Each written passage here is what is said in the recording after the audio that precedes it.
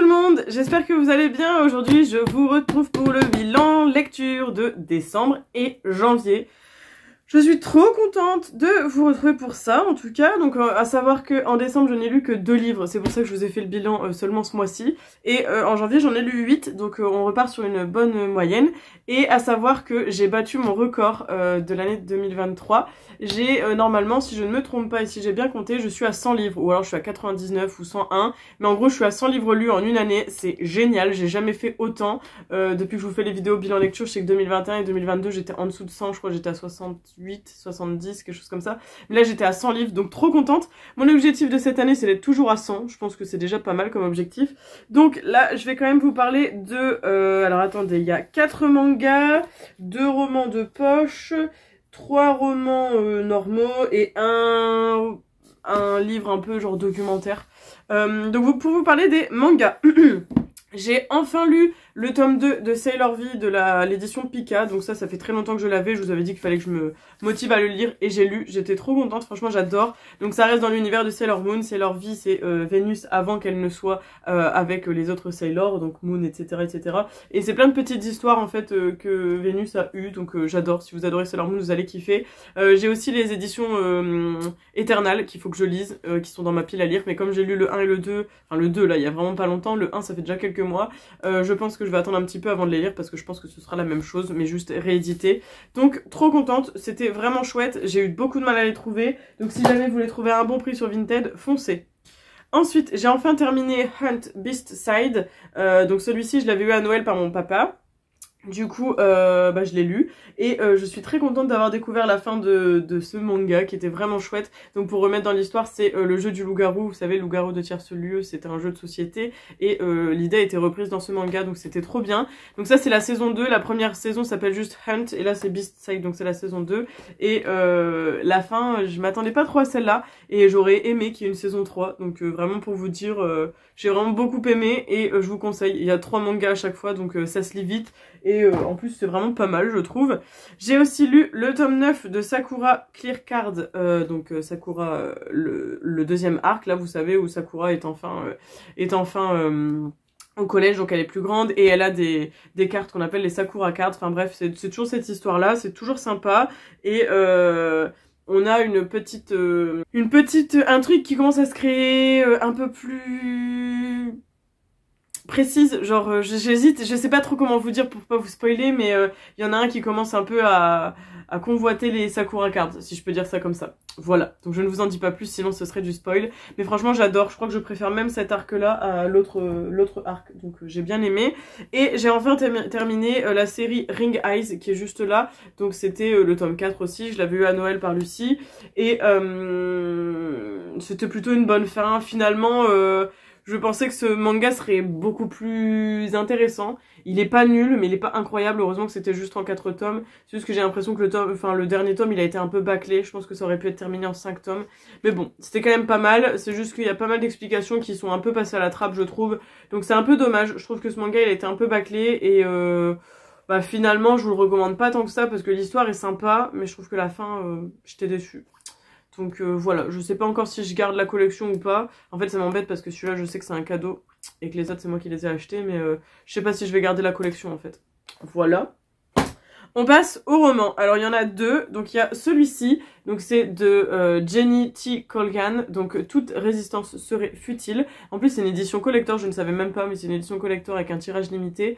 Donc on va suivre l'histoire de Connie qui est mathématicienne et qui se retrouve enfermée euh, avec d'autres mathématiciens dans une salle et ils doivent faire des recherches, ils savent pas vraiment pourquoi et euh, ils finissent par se rendre compte qu'en fait il va y avoir des histoires d'extraterrestres. Donc c'est un peu genre euh, rencontre du troisième type si vous voyez ce que je veux dire. Et euh, la, la chère Connie va se lier d'amitié avec cet extraterrestre en question et il va y avoir toute une histoire euh, autour de ça, même une histoire d'amour, etc. J'ai trouvé que c'était vachement perché comme histoire. Néanmoins c'était pas mal, c'était une bonne lecture, mais pareil je ne sais pas si je le garde. En fait ce qui me, me laisse à me dire qu'il faut que je le garde c'est parce que c'était une édition collector, mais euh, en même temps, c'était pas non plus une histoire qui m'a beaucoup beaucoup plu, donc euh, je ne sais pas. Mais en tout cas, c'était quand même pas mal. Je suis contente de l'avoir lu une fois, je ne pense pas que je le relirai une deuxième fois, mais l'histoire, elle était vraiment perchée. Hein. Mais je l'ai lu assez vite, hein. il se lisait vraiment bien, je trouve, donc euh, pas mal non plus. Je l'avais eu à Easy Cash, celui-là, donc voilà. J'adore la couverture, en plus elle est trop belle. J'avoue que c'est vraiment la couverture qui m'avait fait craquer. Ensuite, alors là, gros coup de cœur sur ce livre, c'est un livre de Bruno Combe, Je ne cours plus qu'après mes rêves. Alors, premier livre de l'auteur que je lis suite à une euh, petite, euh, un petit commentaire d'une de, mes collègues qui m'a dit que les livres de Bruno Combe étaient très très bien. Et donc, euh, on va suivre l'histoire de plus trois personnes. Donc ça m'a beaucoup rappelé l'histoire de la tresse euh, de Laetitia Colombani dont j'ai vu le film récemment qui est incroyable.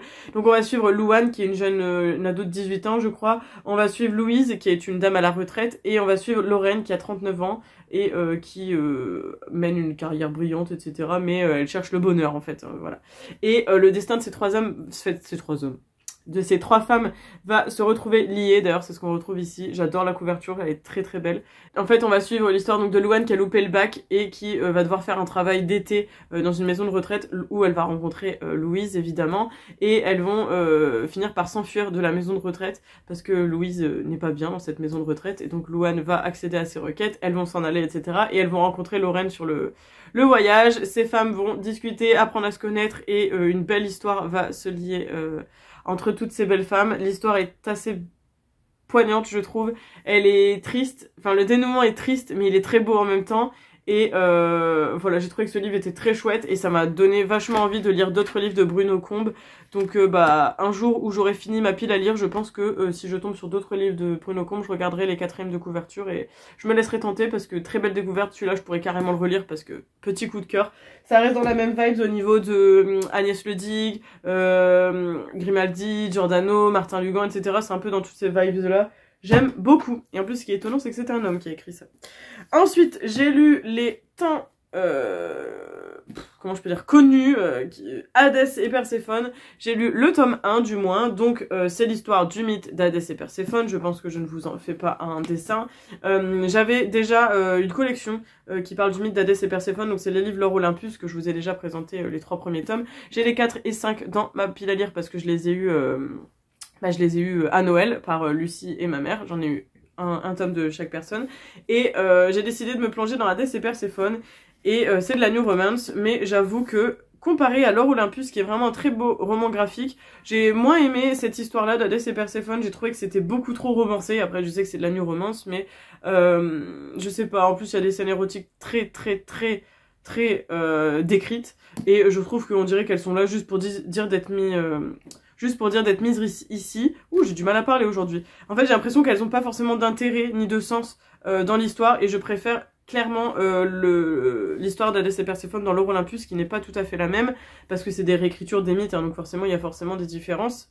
Mais euh, je sais pas trop quoi en penser. J'ai les deux autres tomes, donc je pense que je vais lire le tome 2, mais je ne suis pas sûre d'aller au bout. Euh, vous verrez ça au prochain bilan lecture ou peut-être celui de mars, je sais pas si je vais lire au mois de février le tome 2 ou pas, parce que j'ai eu beaucoup de mal à le lire, franchement, euh, il m'a fallu au moins 150 pages pour rentrer dedans, sachant qu'il y en avait, euh, je sais plus, 600, non, 420, donc euh, bon, c'était quand même long pour rentrer dedans, et bah il y a eu énormément de bruit dessus qui fait que ça m'a donné envie de l'acheter, et finalement je suis un peu déçue, donc voilà, n'hésitez pas vous à me dire en commentaire si vous avez lu cette série, cette saga, et si vous l'aimez, mais en général vous l'aimez, donc dites-moi ce qui vous plaît, vous, dans cette saga, mais j'avoue que même si je lis les trois, je pense que c'est une saga que je ne garderai pas et que je mettrai sur Vinted. Donc si jamais, je vous invite à me suivre sur Vinted parce que euh, c'est sûr que je ne garderai pas la série.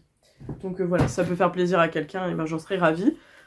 Ensuite, j'ai un autre livre, donc ça c'est ce que je vous disais un peu documentaire, c'est de Stéphane Alix, donc ça s'appelle Le Test, une expérience inouïe, la preuve de l'après-vie, donc il faut savoir que Stéphane Alix c'est un journaliste euh, qui est fondateur de l'INREES, je ne sais plus exactement ce que ça veut dire, et du magazine Inexploré et c'est aussi l'auteur et l'animateur des enquêtes extraordinaires sur M6. Donc euh, c'est quelqu'un qui apparemment est assez connu. Moi quand j'ai lu ça à l'arrière du livre, je ne le savais pas. Mais bon, pourquoi pas. Et en fait, il a rencontré six médiums à qui il a demandé plein de choses parce qu'il essayait de rentrer en contact avec son père qui est décédé. Euh, il a placé des objets dans le cercueil que lui seul euh, sait. Enfin, il y a que lui qui est au courant de ce qu'il y a dans le cercueil. Et il a essayé de communiquer avec les médiums pour savoir si le père pouvait retranscrire ça. C'est un livre qui m'a beaucoup questionné qui me fait encore réfléchir d'ailleurs, que je garde, que je pourrais relire pour réanalyser. Plutôt pas mal, je trouve. Euh, belle découverte. Après, évidemment, on y croit ou on n'y croit pas. C'est à prendre avec des pincettes, je pense. Parce que euh, bah, ça reste un journaliste. Voilà. Donc on n'aura jamais de preuves, preuves. Je pense que c'était peut-être un, titre assez vendeur également. Mais bonne découverte pour moi. J'ai bien aimé. Je l'ai lu assez vite et euh, franchement, j'étais très contente de le découvrir. Il, il, me pose beaucoup de questions quand même ce livre. mais bonne découverte. Ensuite, on a bientôt fini, il m'en reste deux. Alors, il y a évidemment et enfin le livre Les Victorieuses de Laetitia Colombani, dont je vous ai déjà parlé puisque j'ai lu La Tresse et Le Cerf-Volant, qui sont les deux premiers livres de l'auteur, et voici le troisième. Pour l'instant, elle n'en a pas d'autres à son actif, je ne crois pas. Mais euh, celui-ci était génial également. On va suivre euh, deux personnes, on va suivre l'histoire de Solène, qui est une avocate c'est aussi pour ça que j'ai acheté, parce que ça porte mon prénom et j'avoue que c'est rare de retrouver mon prénom dans des histoires, donc j'étais assez contente. Et la deuxième personne, c'est Blanche, qui euh, s'engage dans, dans l'armée, je crois. Ouais, c'est ça, l'armée du salut, et elle, elle œuvre en faveur des démunis. Et euh, en fait, c'est pas euh, au même moment, genre Blanche, c'est dans les années 1900, et Solène, c'est dans les années actuelles. Et on a toute une histoire sur les femmes, c'est pour ça que ça s'appelle Les Victorieuses, évidemment. Et toutes ces femmes qui se retrouvent euh, tourmentées par euh, diverses choses, les femmes qui ont fui leur pays, les femmes qui ont été battues, qui se retrouvent dans des foyers d'accueil, etc. Et Solène, donc une avocate, se retrouve euh, avec toutes ces femmes dans ce foyer pour les aider à écrire euh, parce qu'en fait elle a été en burn-out ou je ne sais plus trop quoi et elle euh, elle a euh, comme mission son psychiatre ou psychologue lui a donné comme mission d'aller aider toutes ces femmes pour l'aider à se reconnecter à soi-même. Franchement ça a été un très beau livre en quelques jours je l'ai lu, il était super. Enfin franchement je vous le dis toujours mais Laetitia Colombani elle a une écriture mais les gars c'est incroyable. J'adore ces livres. Ils sont super bien. La tresse et le cerf-volant, c'était des petites pépites aussi. Franchement, je ne saurais vous dire lequel des trois livres m'a plus plu parce que vraiment pépite. Ces livres, c'est vraiment des livres que j'adore. Je crois que ça reste, euh, ça va devenir mon auteur préféré parce que euh, c'est comme Grimaldi. Euh, les livres se lisent en 5 minutes, clairement, trop bien. J'adore, donc très très beau livre et pareil, je pourrais le relire à 10 000% parce qu'il est génial. Je vous le conseille, les trois livres, je vous les conseille. Celui-ci, il est différent des deux autres parce que la tresse et le cerf-volant se suivent un peu, parce que dans le cerf-volant, on retrouve Lalita qui est dans la tresse, mais celui-ci, il est indépendant des deux autres. Très beau livre. Franchement, j'adore. En plus, il est pas long. Hein. Il fait 300 pages, je crois. 200, euh, 218 pages. Vous voyez, très très rapide à lire. Euh, j'ai adoré. Voilà. Et on arrive sur le dernier livre que j'ai terminé hier soir. C'est un livre d'Agnès Ledy qui s'appelle Part avec lui, du coup qui est très frais dans ma tête et que j'ai beaucoup, beaucoup, beaucoup aimé. Pareil, on a plusieurs points de vue parce qu'on va suivre l'histoire de euh, Juliette et l'histoire de Roméo. C'est assez rigolo au niveau des prénoms. Roméo c'est un pompier, Juliette est une infirmière. Roméo en fait il a fait un accident euh, du haut d'un huitième étage je crois parce qu'il a voulu aller sauver un petit garçon et il s'est retrouvé, euh, bah, il s'est retrouvé propulsé dans les airs et du coup il s'est retrouvé hospitalisé dans les soins un peu vous savez, les, soins intensifs là. Et Juliette et dans ces soins-là ou ces soins palliatifs, je sais plus trop. Euh, je crois que c'est soins intensifs. Enfin bref, on s'en fiche, elle est infirmière dans l'hôpital. Et euh, elle va le suivre un petit peu dans toute sa... dans tout son... son dans toute sa guérison, j'ai galéré, dans toute sa guérison, et après, au fur et à mesure, on a euh, les points de vue de l'un et de l'autre, on se rend compte que Juliette est coincée dans un mariage, enfin même pas un mariage parce qu'elle est pas mariée, elle rêve de se marier, d'avoir un enfant, mais en fait son mec c'est juste un pervers narcissique incroyable, euh, il la coupe de tout, de n'importe quoi, alors que Roméo essaie d'entretenir une correspondance avec elle, et euh, bah, le mari voit le, truc arriver et coupe tout, il finit même par la battre et par la violer, donc il y a des thèmes quand même qui sont assez poignants je trouve dans ce, dans ce livre-là, Juliette finit par péter les plombs complètement, elle s'en va et euh, Roméo essaye de retrouver Juliette tout simplement. Et forcément, je ne vous fais pas un dessin de la fin, je pense que vous la voyez arriver à milieu, mais il était très très beau ce livre. Agnès le dit que j'aime beaucoup. J'avais déjà lu euh, Dans le murmure des feuilles qui dansent, je crois que c'est un truc comme ça. Euh, très beau livre aussi, il y avait plusieurs points de vue également, je crois qu'il y en avait deux ou trois.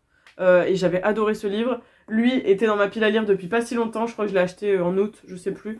voilà, trop bien. J'en ai deux autres, je crois, ou trois autres dans ma pile à lire, donc je suis très très contente.